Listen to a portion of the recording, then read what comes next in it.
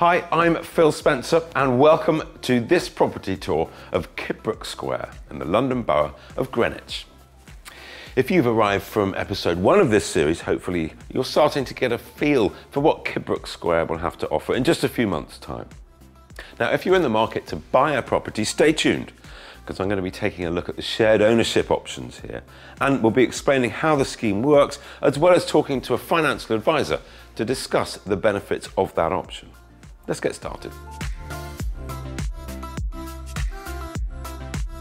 They've got a show home set up here, so I've come to have a look around, see what it's like.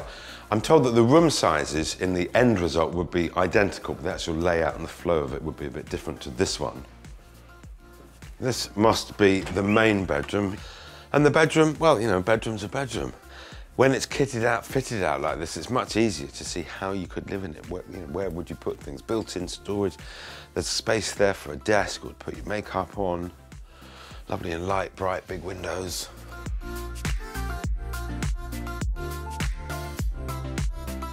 Second bedroom, I like the size. And remember, although this is a show home, the room sizes will be identical. And, and that's absolutely fine for a second bedroom.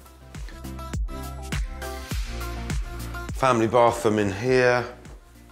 All very smartly done, good appliances, just as I'd hoped to find.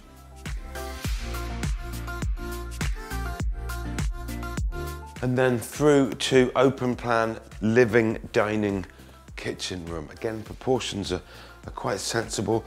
Easy to see that you've got six people around the table, have your mates round, bit of a dinner party Friday night.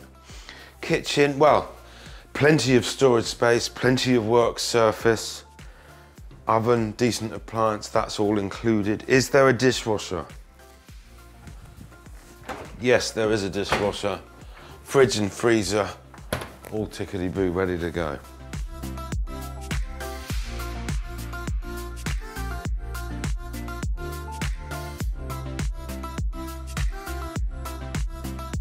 And then down this end, the living room. And it's lovely to see that actually once you've finished dinner up there, six of you could happily sit on a sofa that size to watch a movie. But all in all, you've got good ceiling height, you've got good proportions, it's lovely and light. I like the floor, this is a nice touch. You know, they've thought it through. It's good to see. Next up, I'm going to talk to the sales manager. I'm sat here with Anthony Keane. Anthony is the sales manager here at Kidbrooke Square, and I wanted to find out about shared ownership and, and how it works, Anthony. Give, give me a download on shared ownership. So shared ownership, it's a government-backed scheme where you buy between 25 and 75% of the property's value and then you pay a subsidised rent on the remainder of the property. So the eligibility can vary from scheme to scheme, but here at Kidbrooke Square, there's a three-month priority for those who live or work in Greenwich and then after those three months it's then open to anyone who lives or works in London. So that means what when you launch a scheme, for the first three months you'll only do business with somebody who lives and works close yes, to Yes, so we can only sell properties to those people, so that's yeah. people actually putting down a reservation. But people can still inquire if they aren't living or working there. And what right. we can do is we can add them to a waiting list. And, and you said you could buy between 25 and 75% of the property. Can you can you buy more in years to come? Yes, so over time you can buy additional shares which is called staircasing. So you can buy a minimum of 10% and then you can actually staircase to 100% which means that then you own the property in its entirety. Tell me about where we are, Kidbrooke, what's it got going for it? So we're currently at Kidbrooke Square, it's one of our flagship schemes in Zone 3, literally next to Kidbrooke Station, so a mm. couple of, literally like a minute's walk from the blocks to the actual station itself. The actual development itself too, you've got an on-site gym and concierge, and you've got various kind of landscape gardens which you have access to, which is all included within the service charge that you pay here. Just going back to shared ownership for a minute, what would you say is the kind of average amount that people buy? So most people at the moment are buying a sort of a 25% share at the moment. It's that entry level sort of product that means that actually people who wouldn't be able to buy on the open market normally, they actually have that ability to buy that property. It's a step onto the ladder as opposed to just paying rent all the time. It means they're actually investing into their own home. For, me, a great attraction would actually be the security of tenure. If you own 25%, no one can kick you out. It is your piece yeah. of England and, and, and certainly in today's rental market, um, you don't get a lot of security. We are finding at the moment we get a lot of people who inquire because their rental agreements are coming up for renewal yeah. and they're not happy with whatever the increase is. So actually then looking at what are my other options to do because I don't want to carry on renting, especially yeah. at these high prices. Any particular things you'd recommend people just be wary of, be mindful of if they're considering? I think one of the most important things to do if you're considering shared ownership is to speak to a financial advisor.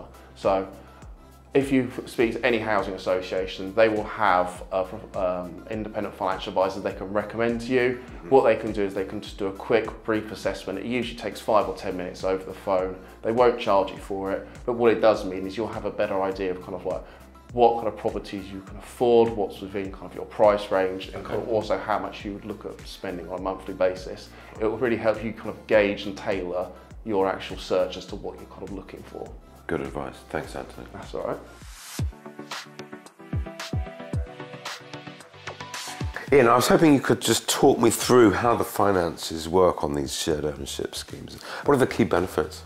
So I think one of the key benefits is that it may enable clients to purchase a property in the area they want to be in. So for example, somebody perhaps may be able to afford to buy a one bedroom apartment on the open market further out of London. Mm. Instead of doing that, they may now be able to buy a share of a property in London. But does it, does, is it still cheaper? Because they've still got to rent the bit that, they, that they don't own.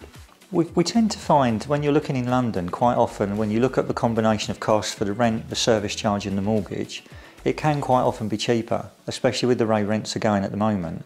It can be cheaper to actually buy shared ownership. So when somebody comes in and say they look around here and, and, and they like it, they want to get involved, they'll, they'll, they've got their deposit.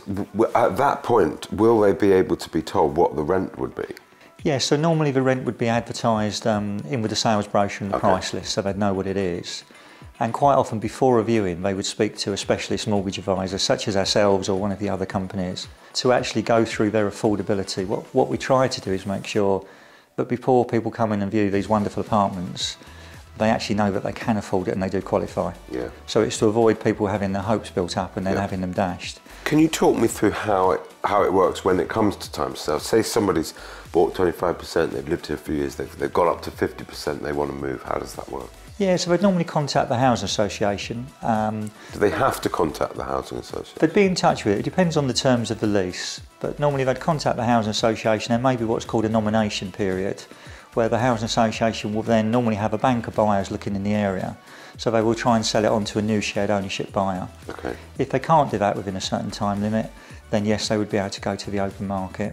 Um, property is independently valued, mm -hmm. uh, and then the, the seller uh, at that point would receive their percentage, i.e. 50% uh, of the value of the property, giving them money to move on to their next, next home.